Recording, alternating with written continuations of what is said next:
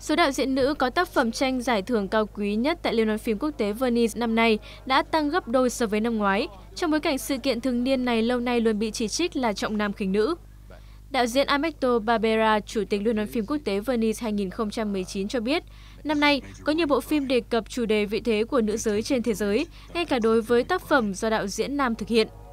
Liên hoan phim quốc tế Venice lần thứ 76 sẽ được khai mạc vào ngày 28 tháng 8 với bộ phim The Truth của đạo diễn người Nhật Hirokazu Koreeda và bế mạc vào ngày 7 tháng 9 với bộ phim The Brand Orange Heresy của đạo diễn người Italia Giuseppe Capotoni, trong đó có sự tham gia diễn xuất của Mick Jagger và Donald Sutherland.